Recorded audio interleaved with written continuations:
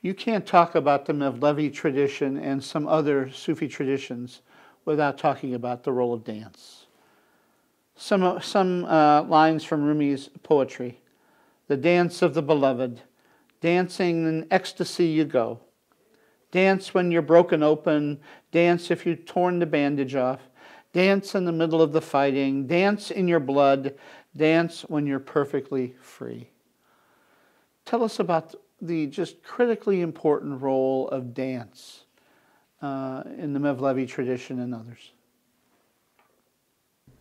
You know, it's a, it's a very interesting thing because uh, Islam, there's an orthodoxy that I grew up seeing where music is not really a part of the tradition. Dance is certainly not a part of the tradition. Uh, because of their association with more secular activities, I think is what it was. And for some, they felt that it, the word is the most important thing. And they felt that activities such as dance or music uh, make people deviate from their beliefs.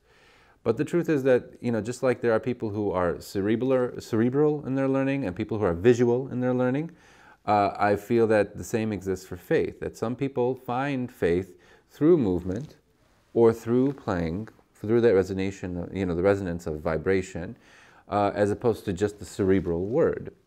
Uh, because in essence, you can say the word over and over, but if you're not understanding what's being said, then it's not really working, you know, to an extent.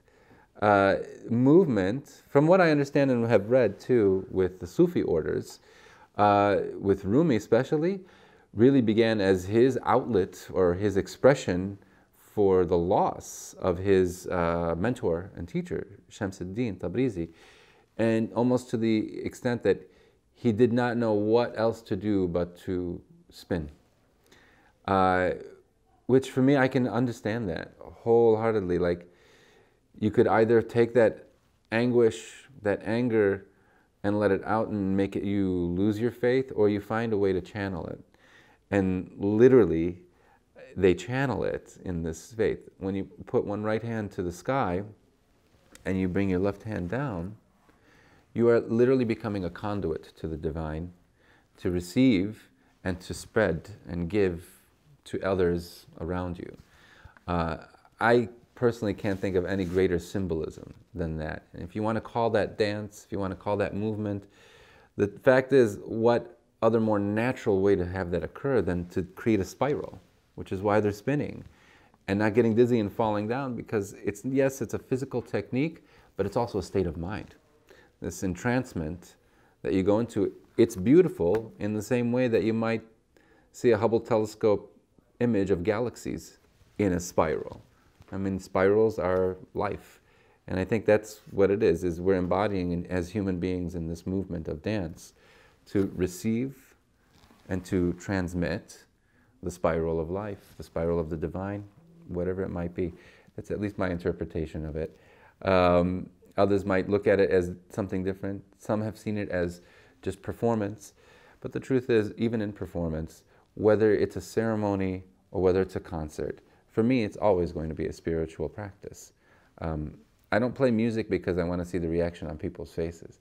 I play it because it's, to me, a spiritual practice. Uh, I would not have chosen it otherwise or found it to be my vocation because um, it certainly wasn't the money.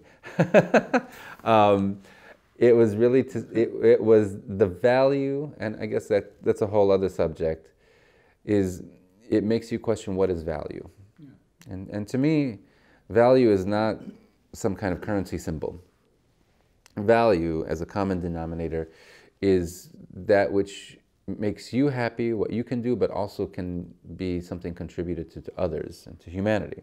What is your contribution to humanity?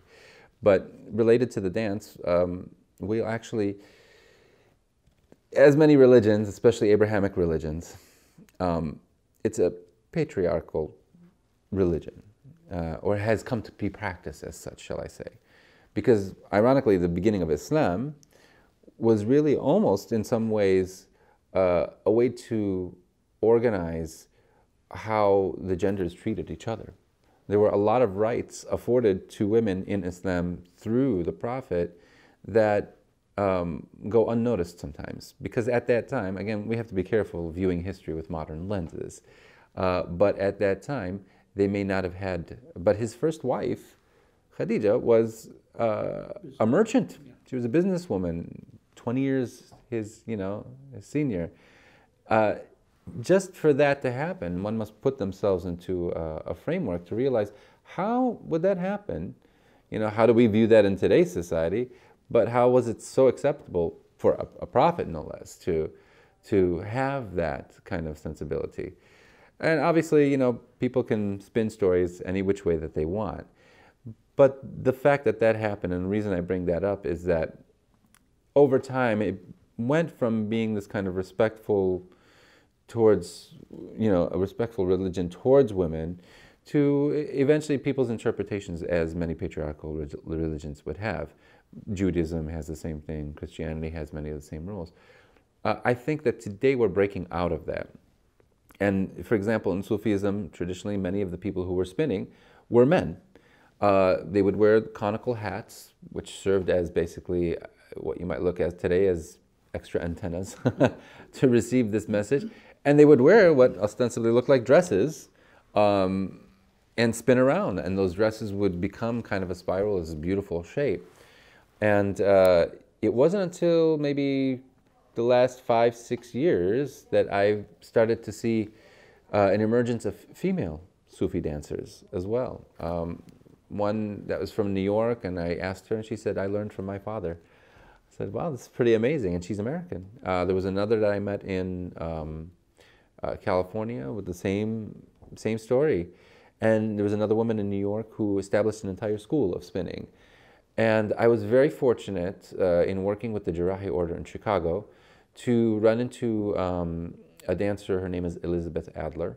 And she has a dance company, Chicago Danztheatre Ensemble in Chicago. But I would see her at all the I would see her at all of these interfaith functions and all the Jarahi. I said, "Are you Sufi?" And she said, "Actually, yeah, that's kind of my pathway into this." I said, "I'm so glad that I could see you and and not make an assumption that you were or you were not." It's very unassuming. She said they were one of the few groups, especially the Order in Chicago. She said that just opened their arms and accepted me. She said they said, and this is her words. They said, uh, "Oh, you're an artist? just come on, come on in." Uh, I think they understand. They see the beauty in art, whatever art you practice, and they understand that to practice an art requires a spiritual devotion. That's, I mean, it is a spiritual practice, even if it's in front of people or not. And so I'm very happy to say that uh, I spoke to her and we were able to put together a program that not only will pay respect to the tradition uh, of Sufism, but will also take us beyond that. Because I think what we need to do, if people want to bring the next generations to the faith, whatever the faith might be, we're going to need to devise new ways for them to understand it because if it's going to be this tradition, they're just going to feel like they're wiping off dust from old relics, whereas they can actually be seeing this and reinterpreting it in a new way. And the truth is, for me, you know, all religions aside, the first true reconciliation that needs to happen, I think, in the world is the reconciliation of genders. When that happens, I think we'll find a little bit more balance in the world.